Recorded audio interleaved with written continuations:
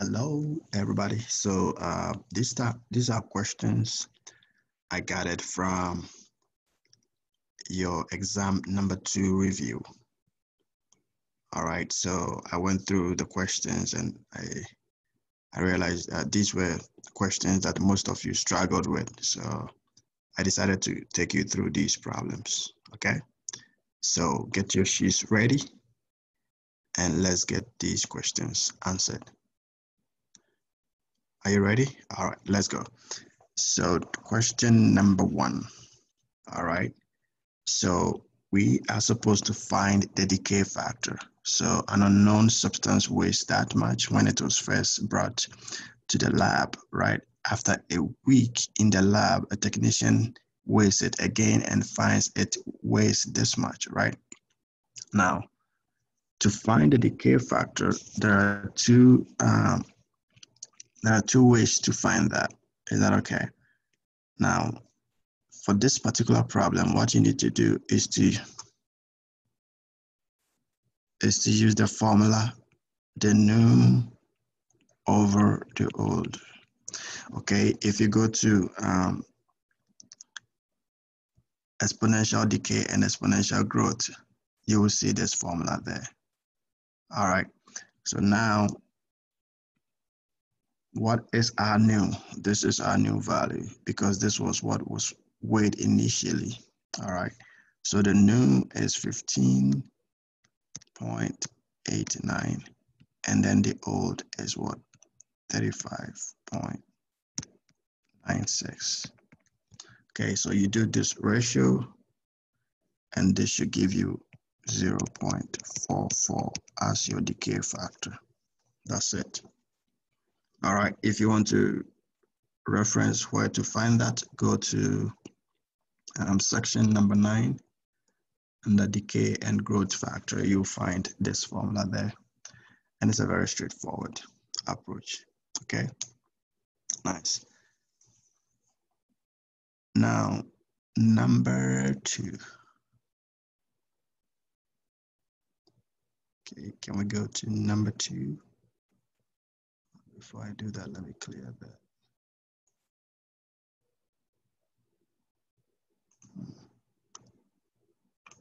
So now let's look at number two.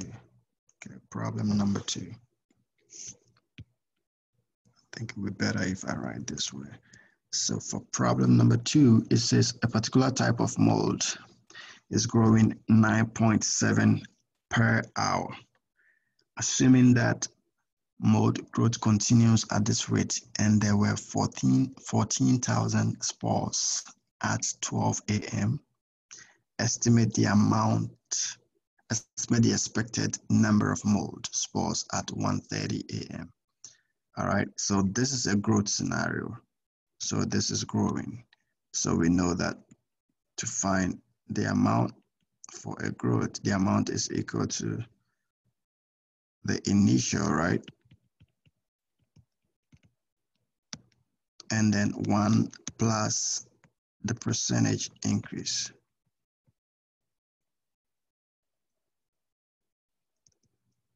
Increase and then to the T. Now, we know the initial amount, don't we? We know the initial amount to be 14,000. We do one plus. Now we have to change this to a decimal, just 0 097. Now it comes to the time. Now the time must be in hours between 12 a.m. and 1.30 a.m. What's the time difference? We have one hour, 30 minutes. All right. So the T right there. So one hour, 30 minutes if you change one hour, 30 minutes into an into hours, that should give you 1.5. And you put that on your calc and your function. This should be your answer, zero, eight, six. Is that okay? So the key thing here is to change the time into hours. Is that okay? So one hour, 30 minutes will give you 1.5. So your T is 1.5. And that gives you the result. Is that okay? Nice. Number three, a smartphone depreciates 12% each year. Which of the following models uh, represents that 40 years, right? So if the smartphone depreciates, again, this is a depreciation. That's not, this is not an increase. So we have to do the initial. All right, so the initial price is 450. The phone depreciates at that. Now change 12%.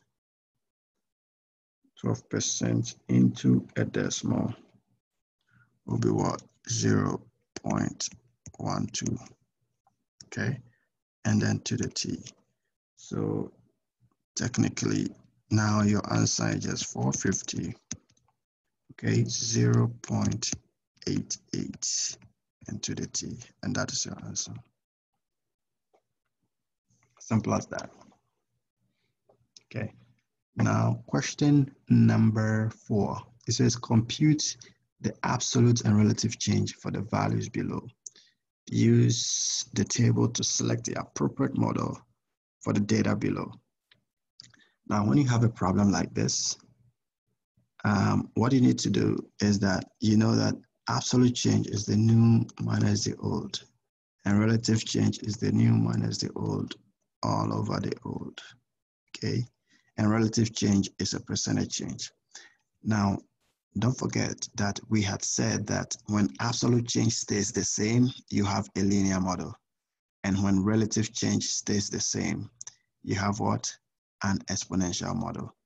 So here we are going to find the, the absolute change and find the relative change, but I will just do two steps so that I know which one stays the same. All right, then I'll decide which model to use.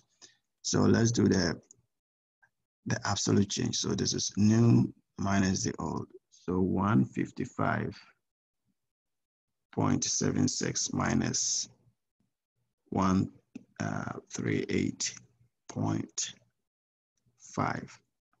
That should give you 17.26 right there. Is that okay? And now, if you want to find the relative change, that is 17.26 divided by 138. 138.5, 138.5 and that's about 12.46%. So this is 12.46%. Now let's do the absolute change for the second. Now 173.02 minus 155.76. Okay, this gives you that okay and that now divided by 155.76 will give you 0 point so that's about that's about 11.08 um, percent. Now because absolute change now then what what do you get? Absolute change is staying the same right now, because absolute change stays the same, this should give you an indication that we are looking for a linear model and not an exponential model. Is that okay? And you could clearly see that the relative, the relative change differs, right? So we are not looking for an exponential model.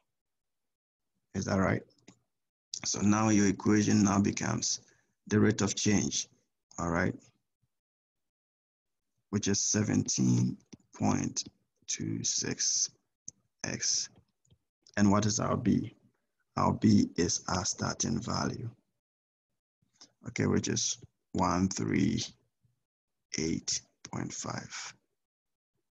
And that is your answer. So now your answer is just that. Is that okay? So when you have a problem like this, find the absolute change, find the relative change. If absolute change stays the same, you are looking for an exponential model. And if relative change stays the same, you're looking for So let me say that again. If absolute change stays the same, you are looking for a linear model. And if relative change stays the same, you're looking for an exponential model. Is that okay? Nice. Good. So let's look at number five. So here we want the finance charge. What would be the finance charge? So the finance charge, okay, this should be, we have to do the APR, right? 0 0.2399. Now the APR is for the year, so we want the finance charge is for the month. So we divide that by 12 and multiply by the carryover balance of that.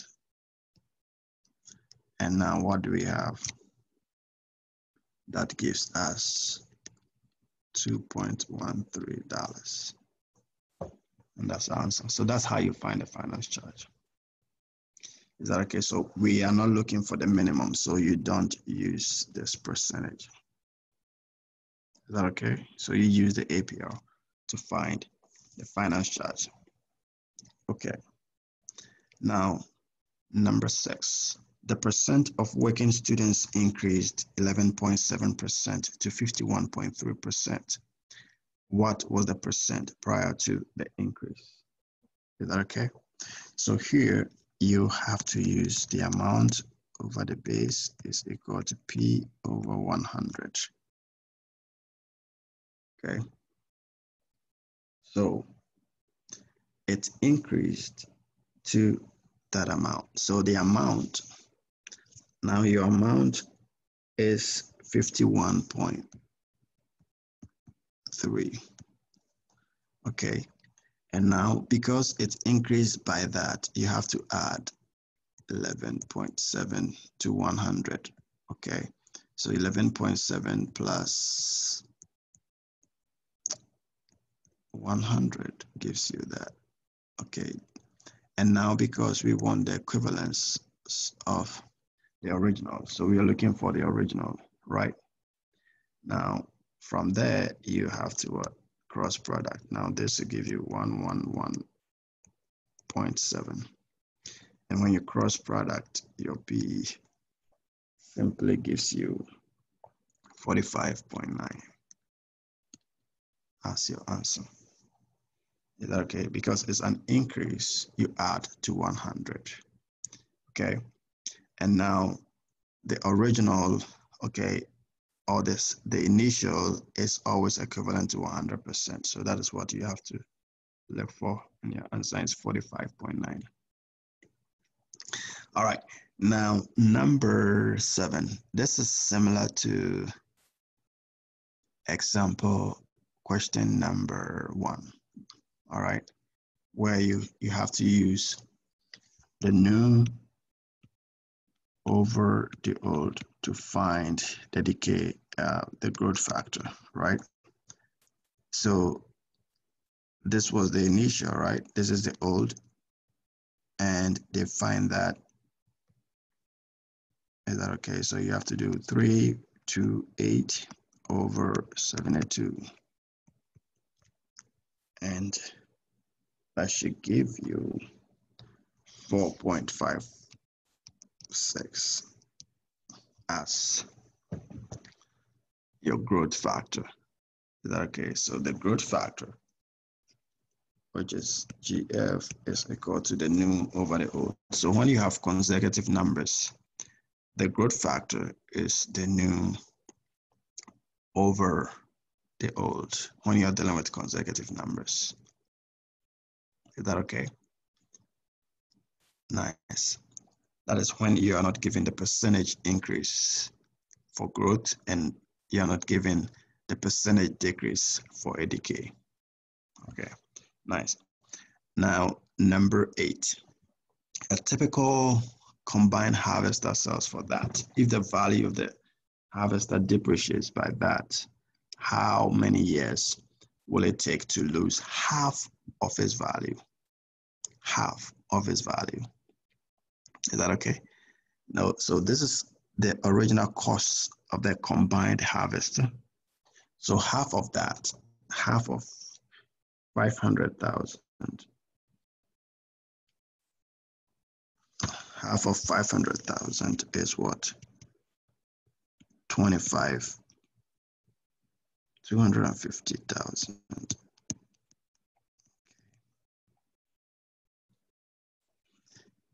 Now, if the value, so don't forget that we have the amount is equal to the initial, okay?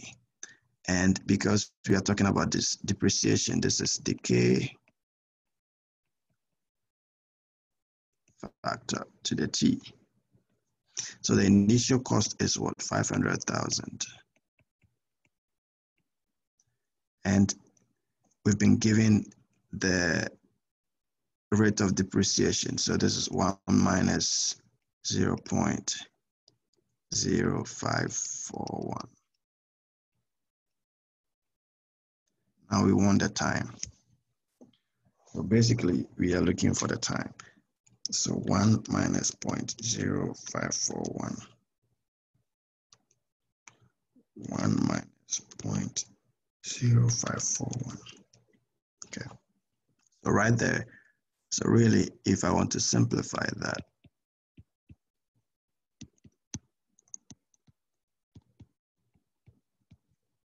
we have 0 0.9459 into the t. So we're looking for the time.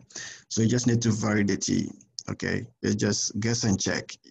All right, you vary the t until you get to 250,000 and you realize that when t is 13, that is when you get it will depreciate to half of the price. So this is the 13 years. It will take 13 years for it to uh, depreciate to half of its price. Okay, so you use guess, guess and check to do that. Is that okay? Nice. Okay. Now, number nine. Let me look at that. Let me bring that down right here. Okay, to create space. So for number nine, you want to find a balance for a deposit in an account with an APR compounded um, daily that is invested for five years. So don't forget that for compound interest, your balance is the principal, how much you invested. Okay. And then you do one plus, now this is the rate. So this rate must be changed to a decimal, right? And then you divide by the number of times compounded in a year. And because it's compounded daily, okay, because the compounding is a daily compounding, you have to do 365 because there are 365 days in a year. All right, then up here, you do 365 multiplied by the number of years. That okay? And this should give you the answer, which is 3968.8.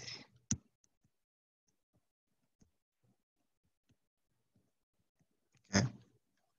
So that is how you deal with that. I think there's another problem on compound interest that we'll be looking at, okay? So that is how you deal with this. Now, shall we go to number 10? Okay, so number 10, Jamal saves 2000 to use as a down payment on a new car priced at 14,999. He is able to finance the remainder of the purchase price over five years at an APR of 3.5, right? Now, in this regard, you do not need Excel to get this problem done. And typically on your test, I wouldn't require that you use Excel, okay? So you have to deal with the information you have.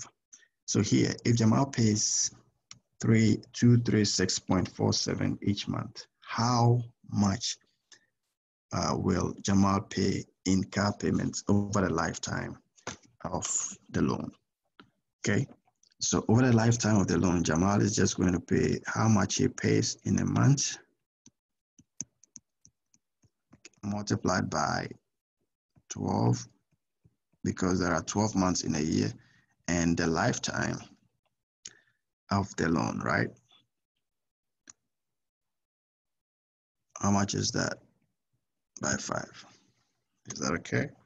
So two, three, six point four seven times 12 by 5. Okay, and that is going to be, so over the lifetime of the loan, Jamal is going to pay this much on the car. Is that okay? Nice. Now, how much will Jamal pay in interest over the lifetime of the loan? So this is how much Jamal pays in total.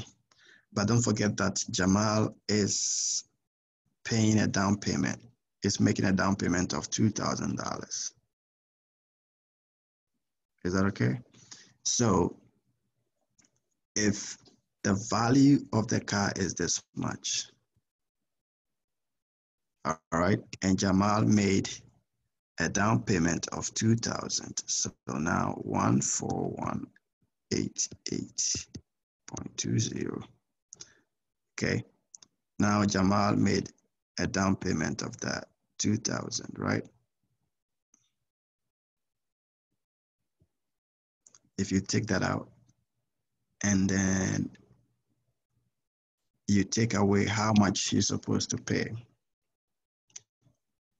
Okay, so if you take, so hold on one second. So now let's clear that. So if you take 2000, okay, so before I even use this, let me take 2000. We'll take 2000 from 14999 minus $2,000. Okay, so 14999 minus $2,000. He'll be left with a balance of two one two nine nine nine. That okay? So this is how much he paid initially on the car. So this is how much he has to service. Now, if you take this from that, minus one four one um, that means that Jamal would have to pay in interest of that one one one eight nine point two. Okay.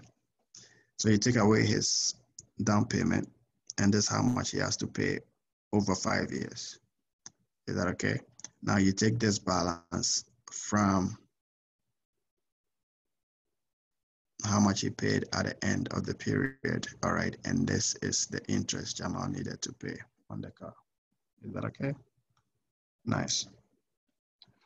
So let's go to number 11. So Griffin is purchasing a home. He has agreed to pay 5.25, right? Over 30 years. His mortgage is that. So this is the cost or the value of the home. Now, if he pays 621.50 each month for 30 years, how much um, interest will Griffin pay over the lifetime of the loan? So this is how much he pays in a month, right? So we have to do 621.50 multiplied by 12 and multiplied by the lifetime of the loan. And that is how much Griffin is going to pay over the period. Is that okay? So in total, over the period, Griffin is going to pay, okay, three, seven, four, zero.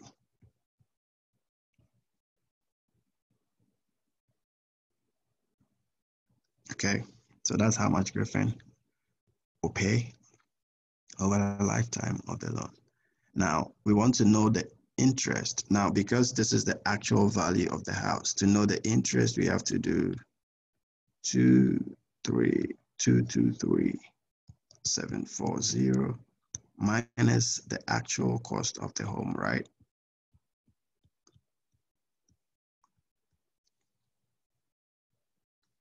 One five four, one three one. Okay, so now um, Griffin will pay six nine six zero nine in interest over the lifetime of the loan. Does it make sense? Okay, nice. Thanks. So number 12, and uh, I think this is our last problem on this. So here as well, we're looking for compound interest and compound interest, the balance, okay, is the principal, which is, so Lori is five to nine, one plus the rate is zero point that, okay. And because it's compounded monthly, this is compounded monthly. So we divide by 12 and now 12 goes up there and multiplies the number of years, which is six. Okay. And you can find the balance at the end of a period as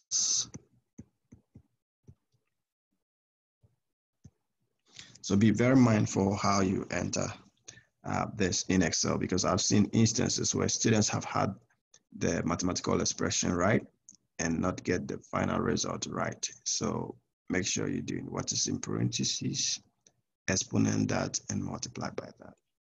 Is that okay? All right. So thank you very much um, for your time. And uh, let me know if you have further questions. Is that okay? So thanks and do have a good day. All right. Bye.